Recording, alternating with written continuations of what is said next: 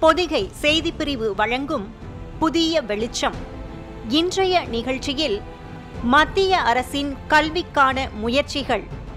பங்கேற்கிறார்கள் முனைவர் இ. K. D. Sivakumar கல்வியாளர் மற்றும் கே. ஆர். நந்தகுமார் மாநில பொதுச் செயலாளர். தமிழ்நாடு மழலையர் மெட்ரிகுலேஷன் மேல்நிலை கல்விக்கான அமைப்பு. கலந்துரையாடுகிறார் ஜே. கலைவாணி.